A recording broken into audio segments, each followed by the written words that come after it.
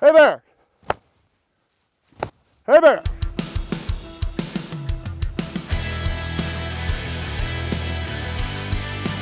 Right, this is a real basic one, folks. I always put bells on the outside of my backpack anytime I'm hiking somewhere because the key to avoiding an animal attack is making sure they know you're coming long before you end up on top of them. Second thing I do is I make a lot of noise, especially in an area where you start seeing bear scat, something like that, any kind of signs that, hey, there's something in the area. So I'll just do simple, hey bear, hey bear, hey bear. All right, so again, you don't want them to be surprised. You want to give them tons of notice that you're coming their way.